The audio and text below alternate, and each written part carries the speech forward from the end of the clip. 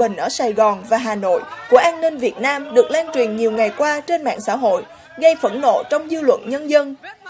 Người trong video là ông Trần Bang, cựu chiến binh từng tham gia chiến đấu chống Trung Quốc năm 1979, bị lực lượng an ninh thường phục dùng hung khí gọi là tay gấu sắt đánh bể đầu, đổ máu khi đang cùng đoàn người biểu tình ở khu vực Hồ Con Rùa.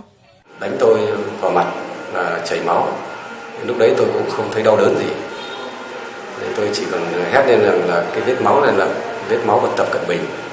Sau đó thì tôi cũng quên tôi không biết gì nữa. Bị công an họ bắt ờ, cưỡng bức đẩy lên cái xe để về đồn công an sau đó thì tôi không còn nhớ gì nữa cho đến 15 giờ cùng ngày thì bác sĩ cho về nhà chữa trị dù bị hành hung một cách giả man, nhưng ông Bang vẫn không hối hận vì đã thực thi quyền được biểu tình của một công dân và có lời nhắn đến những người được chỉ đạo đàn áp cuộc biểu tình.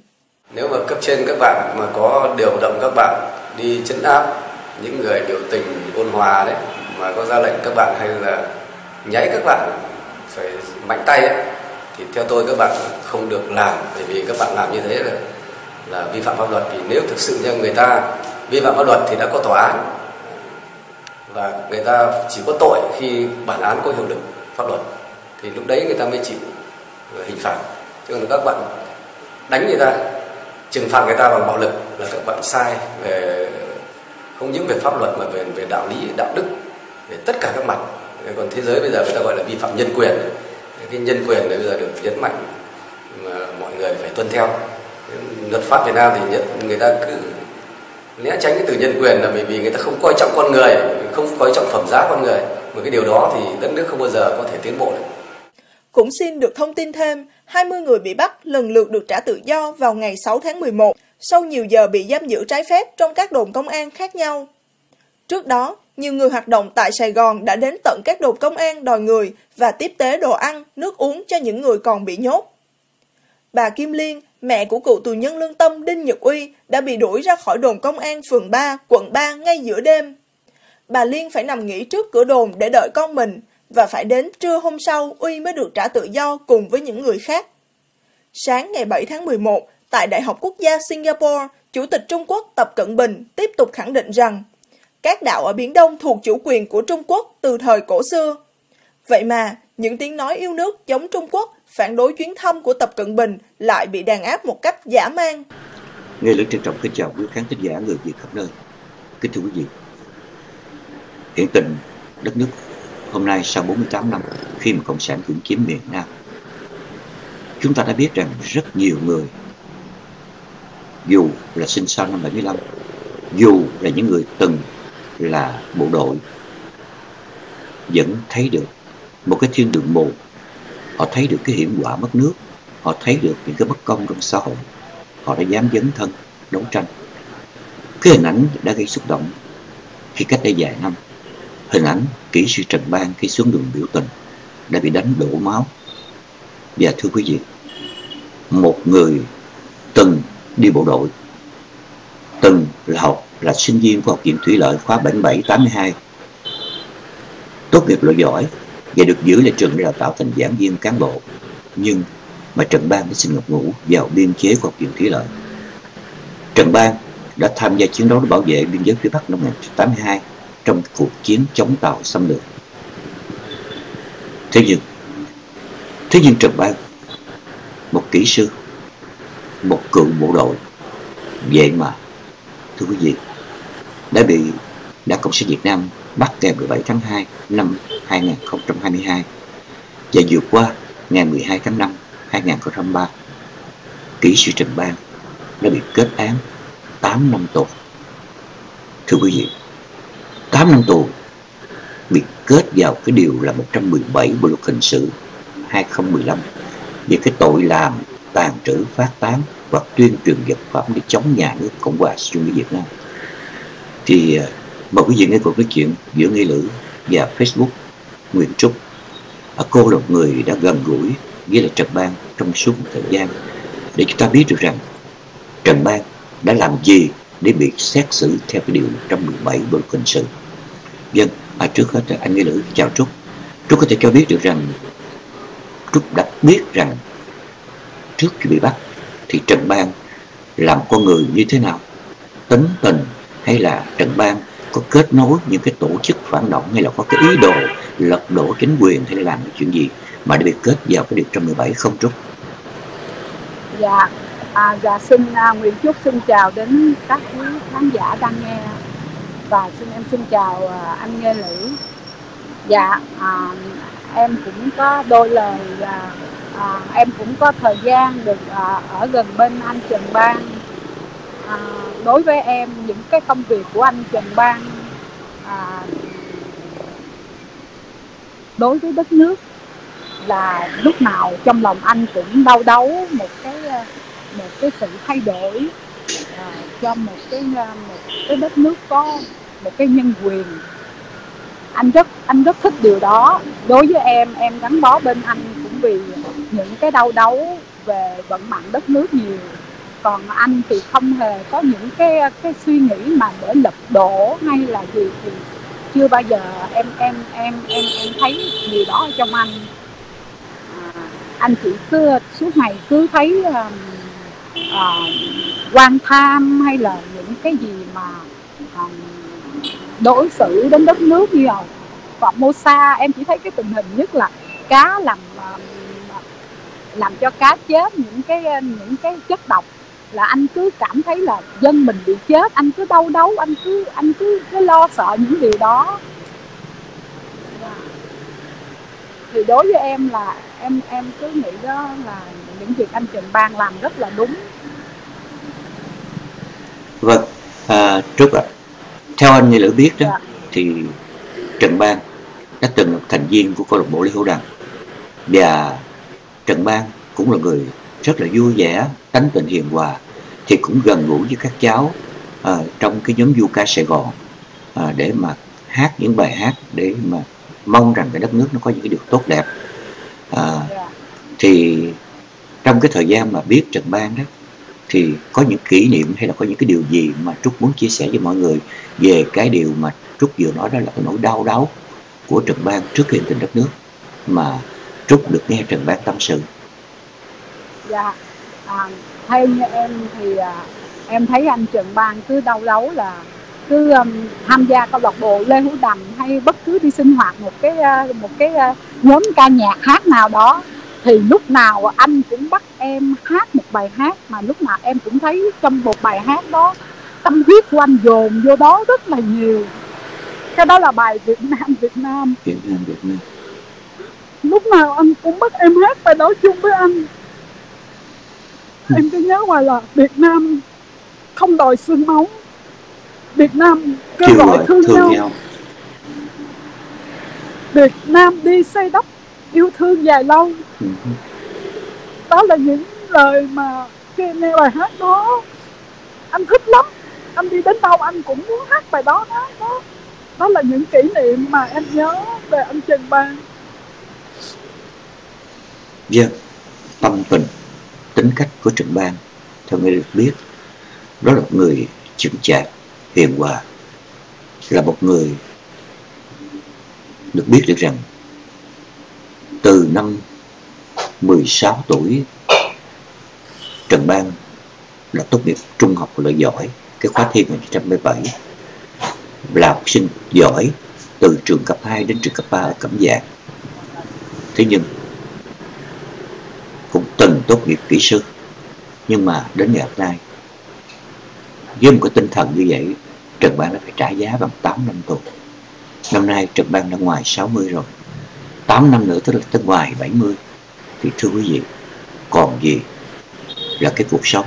Trúc có thể cho biết được rằng trước khi bị bắt đó thì cái cuộc sống của Trần Bang như thế nào? Trần Bang làm gì để sống? Và cái cuộc sống như thế nào? À, có vinh hoa phú quý hay là có cái điều gì nữa là lại có bất mãn cái điều gì không? Mà lại là có những cái việc mà bị gọi là tàn trữ rồi phát tán tuyên truyền ừ, chống nhà nước vân vân dạ. theo em được biết và theo em được biết thì à, họ đã, đã đã kết án anh Trần Bang là qua những bài viết trên Facebook chứ thật ra trong nhà lúc mà họ khám phát thì trong nhà em không không có gì hết không có tài liệu không có một thứ gì để à, để mà gọi là kết tội anh là à, bắt phán ừ, những tăng vật chống phá không có mà em chỉ thấy họ kết ma à, án trên à, em coi tin tức thì họ nó kết án về những bài viết. Thì theo đó thì em nghĩ là họ họ họ là tin họ đang đang đang đang tìm hiểu về trên Facebook là họ tố cáo anh thôi à. Dạ. Trước khi bị bắt thì ờ, thì ban sống bằng cái nghề gì để sinh mưu sinh hàng ngày Trúc?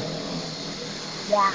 À, thì thời gian um, thời gian uh, về sau này khi chung sống em thì à, anh thì cũng à, cũng không làm gì không có không có làm gì bằng tụi em chỉ có một cái à, căn nhà, nhà cho mướn nhỏ nhỏ để lấy tiền sinh hoạt nuôi sống thôi ạ à.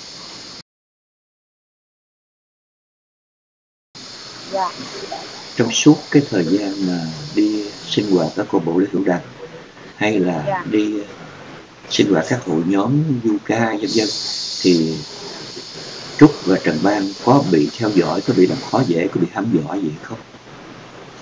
Dạ, cái đó những cái sinh hoạt đi hát thì có em còn đi à, đi à, sinh hoạt uh, câu lạc bộ Lê Hữu Đằng á thì thường thường anh Ban đi một mình. Dạ, thì uh, nói chung là cũng lâu lâu anh Ban cũng về kể em là cũng có an ninh đi theo. Dạ, anh cũng nói là hôm nay cũng có an ninh. Dạ, thì em chỉ biết vậy thôi à còn ở nhà em thì nó hay canh uh, an ninh cũng hay hay hay canh chừng ở nhà lắm. Dạ. Bây giờ sau cái phiên tòa của ngày 12 tháng 5 vừa qua đó thì Trúc có biết được rằng Ban đang bị giam ở trại giam nào và cái chuyện đi thăm nuôi cả năm nay đó như thế nào không? Để cho mọi người cùng biết. Dạ. À, theo em được biết uh, qua bạn bè thì uh, anh Trần Ban thì uh, lúc mà chưa chưa chưa chưa ra tòa thì anh đang bị tạm giam ở uh, ở số 4 Phan Măng Lu à. Dạ. À, rồi rồi uh, gia đình thì cũng sau này gia đình thì vẫn em vẫn có được thông báo là gia đình vẫn vô vô thăm được. Dạ. Còn sau này nó chuyển chạy ở đâu thì chắc chưa chưa biết dạ. Chưa biết. Dạ. Dân thưa quý vị cái hình ảnh mà Trần Ban ra tòa đó, được post trên Facebook. Mọi người đều rất là cảm xúc đều rất là xúc động. Khi thấy một Trần Ban cao lớn mà bây giờ ốm o và sau lưng là phải có y tá đi theo.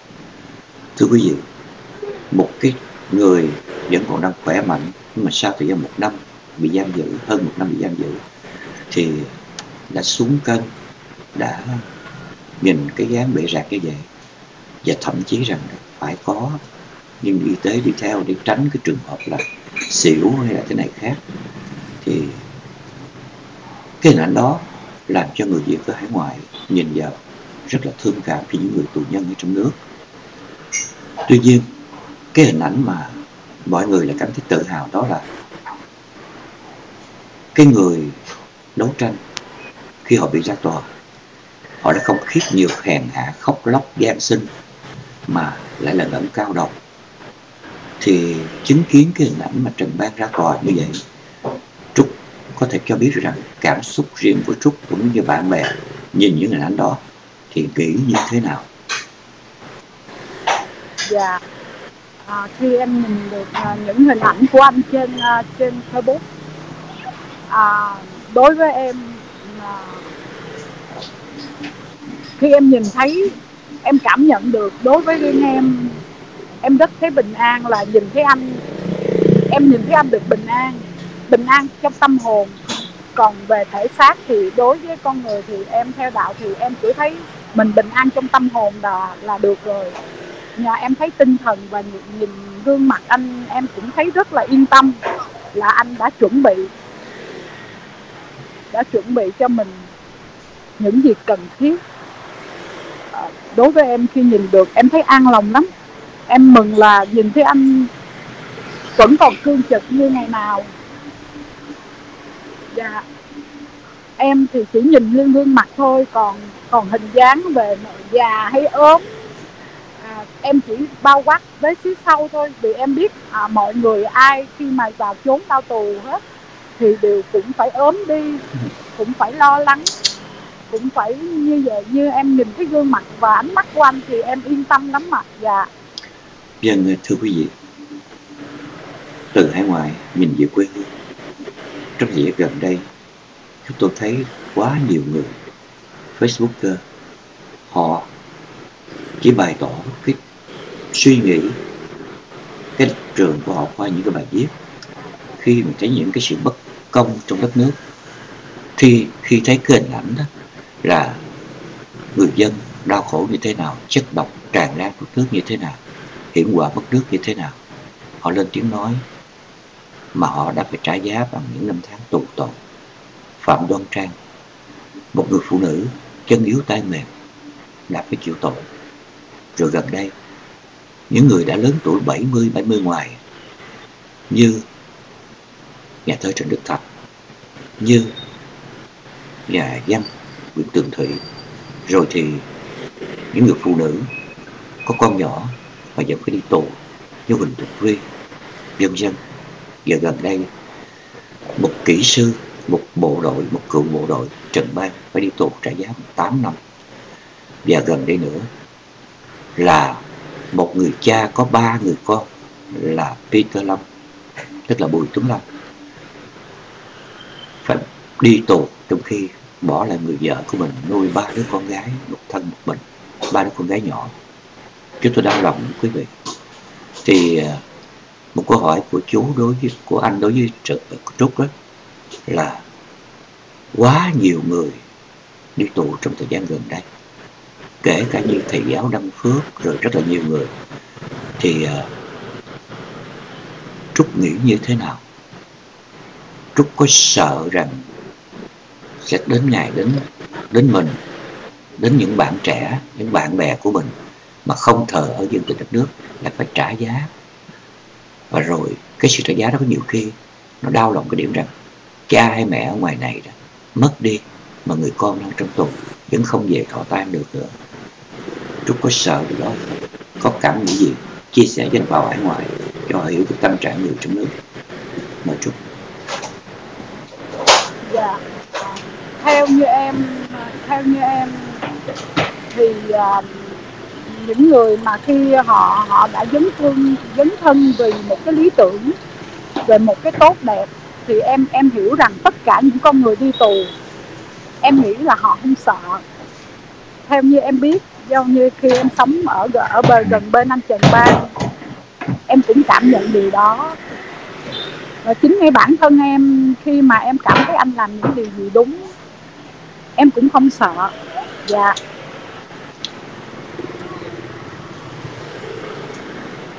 Vì mình cứ nghĩ là mình làm cái gì, mình cảm thấy đúng cái sự thật, thì mình sẽ không sợ gì hết. Dân rất là cảm động quý vị. Đúng, như là có dịp tiếp xúc với nhiều người, dấn thân, đấu tranh trong nước, họ đều có cái suy nghĩ đó. Họ đều không thể thờ ơ vô cảm thế nhưng trúc ơi ngược lại yeah. đó dạ. trên cái hệ thống truyền thông của nhà cầm quyền hiện nay đó thì rất nhiều game show rất nhiều cái hài hước rất nhiều cái người ta gọi là cái cái drama đó những cái trò để mà làm cho người ta quên đi cái cái nỗi đau trong đất nước thì nếu là người có ý thức nói với gì với những bạn trẻ trong nước thí dụ như những cái hình ảnh khoe mẽ về cái sự sống sang chảnh, rồi thì những cái điều mà nói rằng làm sao để làm giàu, rồi thì thi đua nhau để mà thi hoa hậu để diện đại gia, vân vân. Thì nếu nói với các bạn trẻ thì Trúc sẽ nói điều gì? Và những bạn trẻ, họ nghĩ với cái gì về cái hiện tình nước ngày hôm nay? Trước những cái sự nhồi sọ những cái trò vui trẻ tiền như vậy hả Trúc? Dạ à, hiện tại thì à, nói chung tâm tâm trạng em cũng giống như anh gần ba ngày xưa thôi.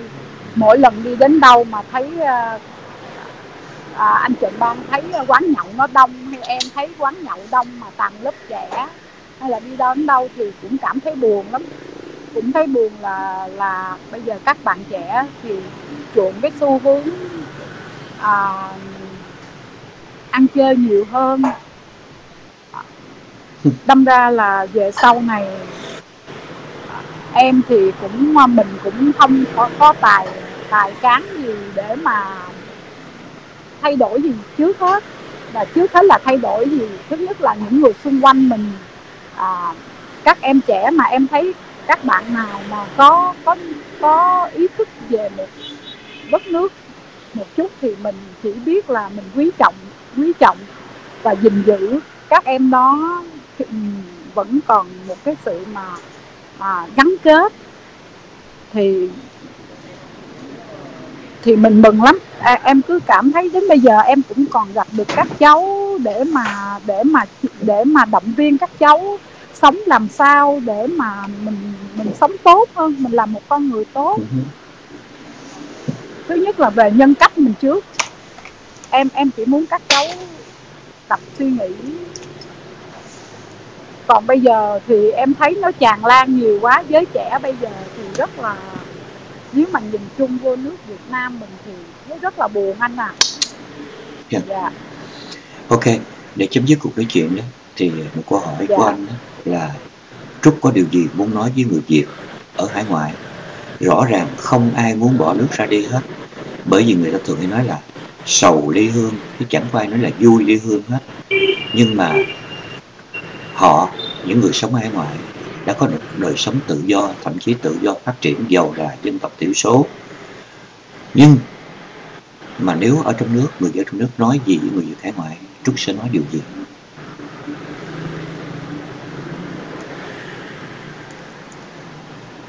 Em à, thật sự em cũng ít có nào tiếp xúc với à, chỉ có bạn bè em thôi. Bạn bè thì ở bên hải ngoại em cũng rất là nhiều.